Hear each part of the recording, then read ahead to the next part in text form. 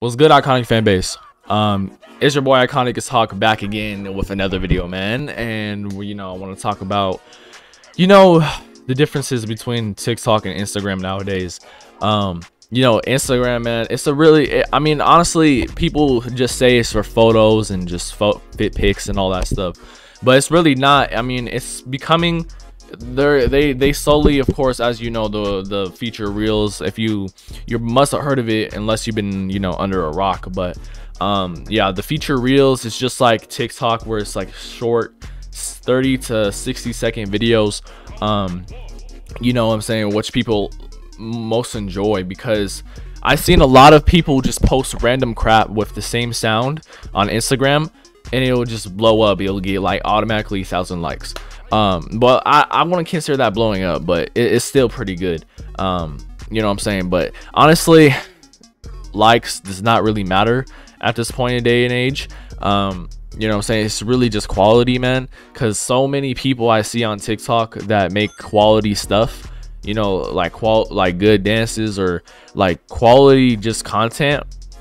They don't really get that recognition. They don't really get so much recognition. They'll get probably you know i'm not i'm not saying likes matter but they'll probably get a thousand likes maximum.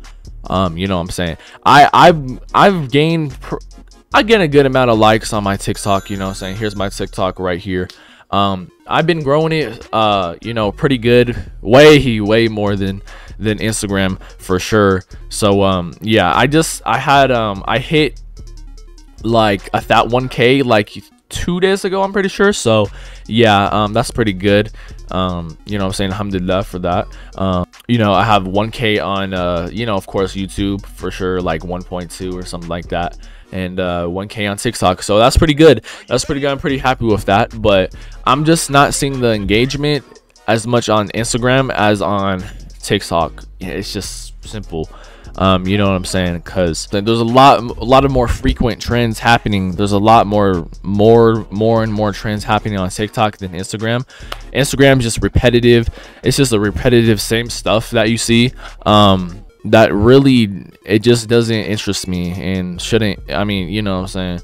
It doesn't really interest a lot of other people as well. So TikTok is way more creative it's just an overall better app, man. And I would just that's my strong opinion, to be honest.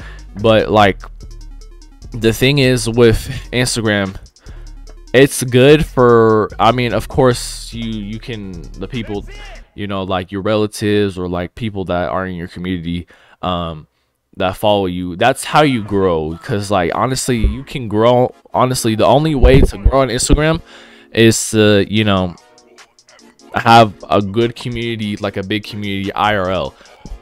You know, it's kind of it's kind of crazy to think about because you have to build you, you got to build you got to make some good friendships and IRL to have like good uh, connections on Instagram.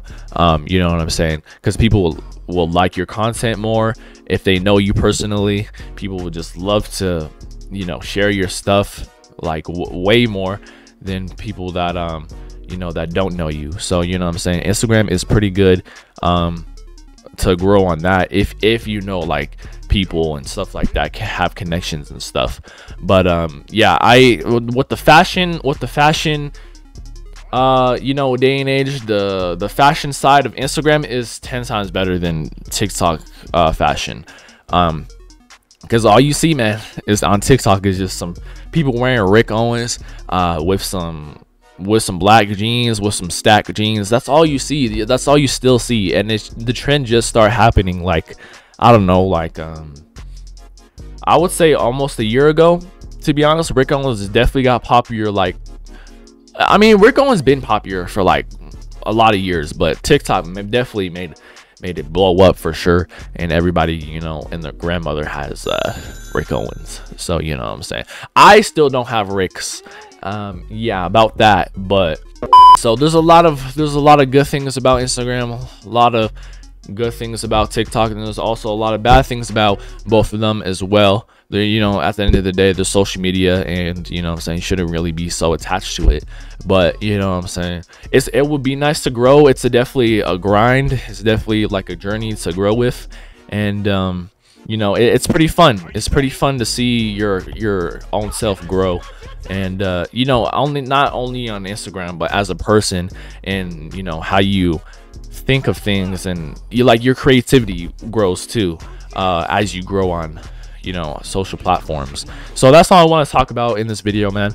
Um, this video is gonna be like five minutes or so. So uh, make sure to like and subscribe as always. And uh, peace out iconic gang